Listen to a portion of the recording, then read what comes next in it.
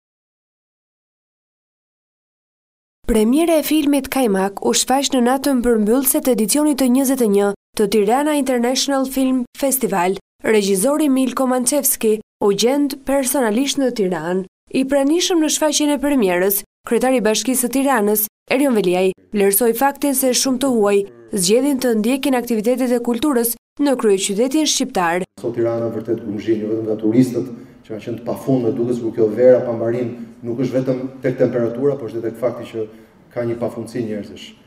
Teksa ju filloni një festival, Çashku mbyll festivalin e tij, teksa mbyllet kjo natë fillon një mesnatë e gjatë me Sven Vath në në qendër qytetit, që ju shpresoj shumë që në këtë potpuri, në këtë buqet aktivitetesh, secili të gjejë veten e vet, edhe të lidhi